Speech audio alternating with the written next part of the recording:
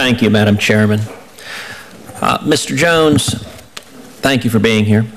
Uh, you are a currently sitting United States Attorney. You previously served as chairman of the Attorney General's Advisory Committee. You're the acting director of ATF. You are perhaps uniquely situated to discuss the Obama administration's priorities and record concerning gun prosecution.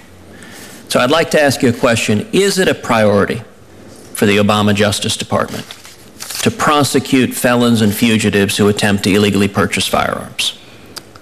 Senator, thank you for that question. And uh, one of the priorities of the Department of Justice has always been during my second tenure as U.S. Attorney, protecting the American public from violent crime, including violent firearms crimes. Is that a yes? That's a yes. Would you describe it as a high priority? It is one of the major priorities. So a major priority. Yes. I, I guess then I, I would ask you to reconcile that comment that it's a high priority with the data.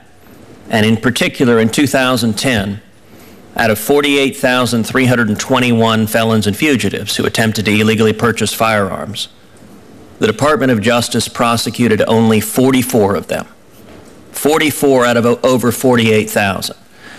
Uh, and, and at least for me, I have difficulty reconciling those hard facts with the assertion you have made that it is a high priority of the Obama Justice Department to prosecute felons and fugitives who try to illegally purchase firearms.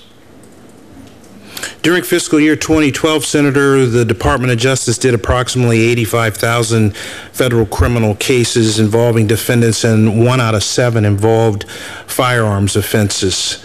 Um, the NICS check does generate hits of people who are potentially prohibited, and um, you are correct in that the number of folks who are prosecuted federally for what has been coined lying and trying is a small number, but the number does not tell the story about what the department has done with armed career criminals. Uh, with, with respect, sir, my question wasn't about armed career criminals. My question was whether it was a priority to prosecute felons and fugitives who try to illegally buy firearms. Now, this, this data focuses exactly on that. That's why I wanted, you, you could have said, no, it's not a priority. And, and, and I would suggest the data demonstrate it is not a priority of the Obama Justice Department to prosecute felons and fugitives. In my view, that's completely unacceptable. Do, do you disagree? Do you think prosecuting just 44 out of over 48,000 felons and fugitives who tried to illegally buy guns, do you think that's an acceptable alloc allocation of prosecutorial resources? Prosecutorial resources are thin, and there are a number of issues that U.S. attorneys across the country deal with, ranging from national security financial frauds, and we have tough decisions to make. The reality is, as a first line prosecutor and someone who exercises their discretion on a regular basis, if given the choice between doing a lying and trying case, which we have not done in Minnesota, and doing an. So your office has we done have zero not done a lying and trying case. Y- Your office has prosecuted zero felons and fugitives who tried to illegally purchase We have not tried a, uh, we have not prosecuted that a lying yes? trying case. We have done over 150 felon in possession, armed career criminal cases. We have done straw purchaser cases. On the spectrum of uh, prosecutions that U.S. attorneys can do, lying and trying cases, both because of the dedication of resources and the potential deterrent impact and the sentence that's going to be involved, are not commonly done, which is underlying that 44 figure that uh, you cited earlier, Senator. M- Mr. Jones, I, I have to admit, I find it remarkable uh, that, that you testified to this committee that it is a, quote, major priority of the Department of Justice to prosecute felons and fugitives who attempt to illegally purchase firearms, and that then you respond to this committee that it is an acceptable allocation of prosecutorial resources to prosecute just 44 out of over 48,000. And even more astonishingly, you inform this committee that you have prosecuted zero.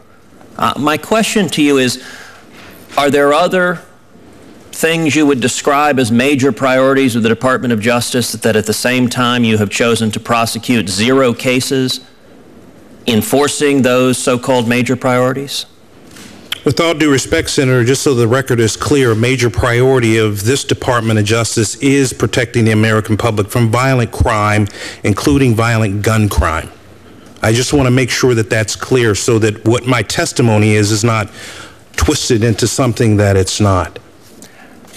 And your question, sir, was, Are there any other so-called major priorities on which you have prosecuted zero cases? We've made hard decisions with our resources. Priority number one is national security. In Minnesota, we have made major efforts on that front with al-Shabaab. We have made major efforts on protecting our community from violent crime, including gun crime.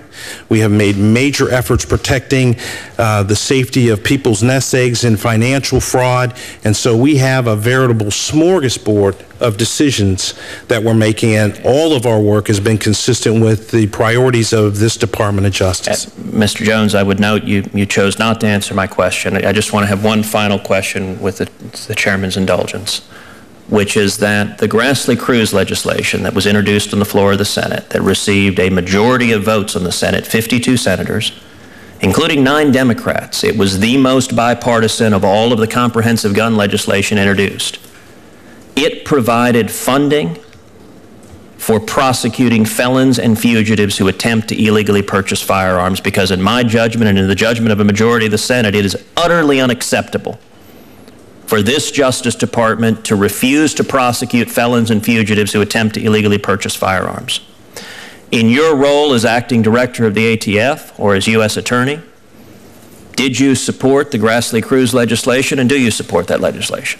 Uh, I am not familiar with the specifics of that legislation, and um, I- I'm not in a position to answer the question because I am not familiar with the legislation. Very well. Thank you. Thank you, Senator.